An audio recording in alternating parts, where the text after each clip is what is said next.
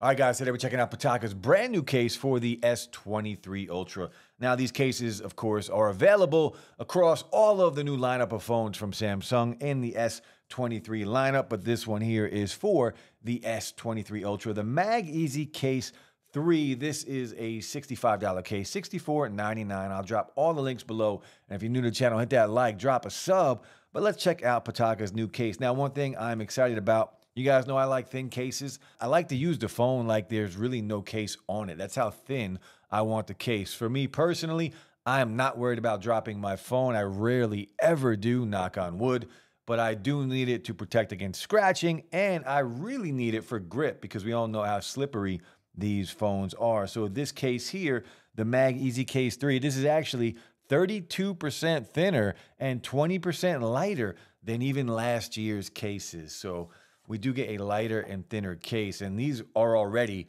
some of the lightest in the tech space here. Alternative Tech Life from Pitaka, And take a look at this beautiful aramid fiber. Now, this does have the PetaFlow, of course, so all of your accessories and chargers will still work. You can see the MagSafe logo, branding, whatever you want to call it, the Pitaka branding on the inside, the cutout for the camera bumps here, and that aramid fiber look.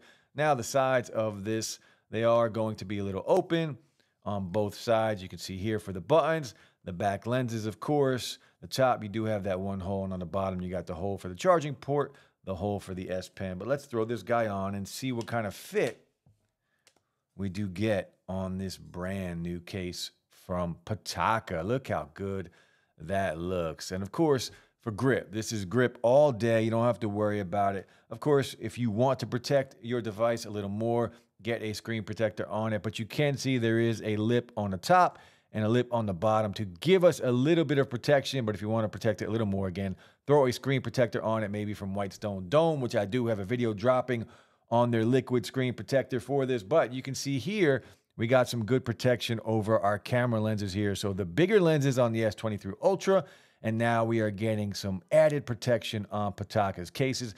This is the first time I've ever seen a Pataka case with that added bit of protection around the lenses and I'm all for it, right? We we're buying these phones because of the incredible cameras on them and we want to protect them. So we have a little bit more protection on this case. So again, 65.99. Let me know what you think of this case here from Pitaka.